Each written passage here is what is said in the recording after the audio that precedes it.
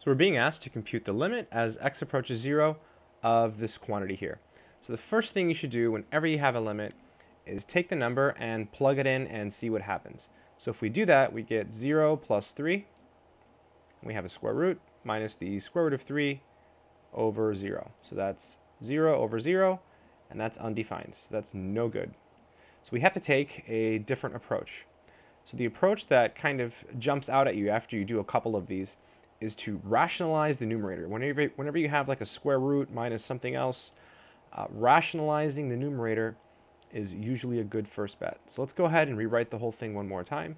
So x plus 3 minus the square root of 3, and then here we have x. Okay, so to rationalize the numerator, we'll multiply by the so-called conjugate. So we'll multiply by the square root of x plus 3 plus the square root of 3 and then we divide by the exact same thing. So square root x plus 3 plus the square root of 3.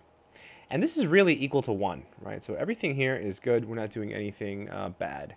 So this is the limit as x approaches 0. And now we're going to use the formula from the past, right? So if you have a minus b times a plus b, this is the difference of squares formula. This is a squared minus b squared. So in this problem, this here is our A, and this is our B, this is our A, this is our B. So it's just going to be A squared, so we square this guy, so we just get x plus 3 minus, and then we square the b, so we just get 3. And in the denominator, we still have our x. And then it's really easy to forget this piece as well. This is being multiplied by the denominator. So we have parentheses, square root x plus 3 plus the square root of 3. And let's see what happens here. The 3's cancel, so we have the limit as x approaches 0 of x divided by x, and then parentheses square root x plus 3 plus the square root of 3. Now the x's cancel. Let's go ahead and write it one more time. So limit x approaches 0, and we have 1 over the square root of x plus 3 plus the square root of 3.